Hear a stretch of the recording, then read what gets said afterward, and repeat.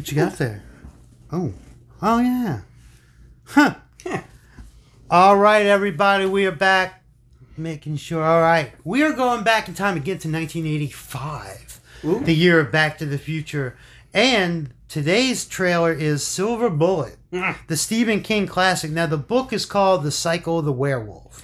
We should almost call this 80 reviews. Every movie we're reviewing is in the 80s. No, actually, um, we did do like when we did. I think the Omen was like 79. That's true. We do go back to 70s, and Cobra was in the 80s. But that's the thing. Stay tuned because you never know how far But the fun part about we're gonna go. the fun part about it is by reviewing stuff in the 80s, some people might not have seen it. You, you reviewed the latest Terminator movie, everybody's seen it. Right. You review something in the 80s, like, you know, the last video, I had no idea what I was watching. So let's We're check it trying out. to pique your interest. So here we go in three, two, one.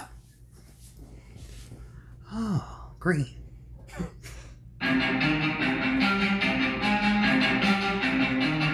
Corey Haim. I gotta talk to you. One of the many Corys. I saw what I saw.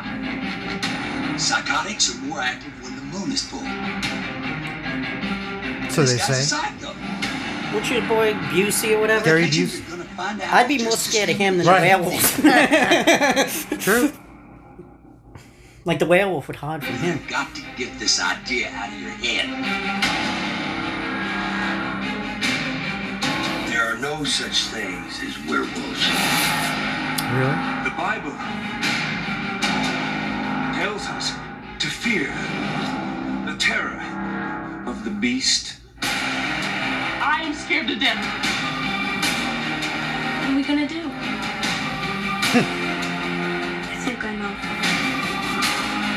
I want you to turn this into a silver bullet. Freaking 10 year old kid tells you to make a bullet for him, ask a few questions. But a 10 year old kid asks Busey to make a bullet.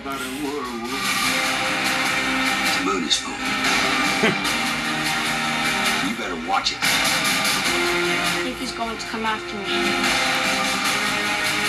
Are you ready? You see how all things serve the will and the mind of God. You see, Jesus. you meddling little This is, this is another movie I don't remember too much, you know? Yeah, I know I've seen it, you know? Yeah. It's iconic.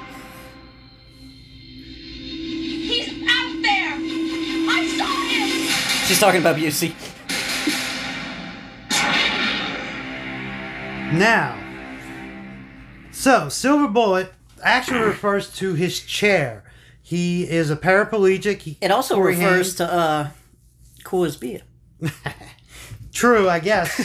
but so in the movie, it's actually like I said, Cycle of the Werewolf is Stephen King's novel or the name of the story.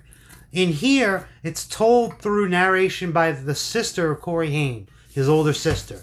Um, uh, spoilers from this point on. You, the Reverend who you see, he's the werewolf, and nobody suspects it because it's him. But in the movie, Corey Haim fires a bottle rocket hits him in the eye. So they eventually run into Like with silver on it or something? no, it's just but the sister tries to help find out what's going on mm-hmm. and they see him with a patch on. And then he mm. says to Gary Busey, his uncle, the drunk uncle, make a bullet for me. And one of the coolest parts, they show it a little.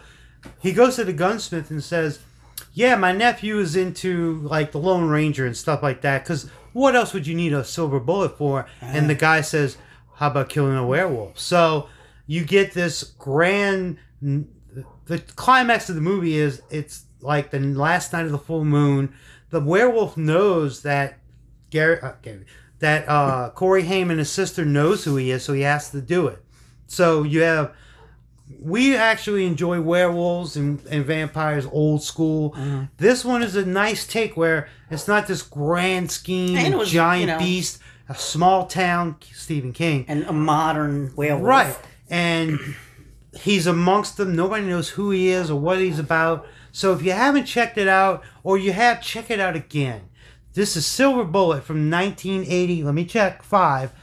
We're going back in time so much. So Check it out for yourself and stay tuned for more from us. Because we are the Dude Brothers. He's Max. I'm ChuBs. Till next time, over and out.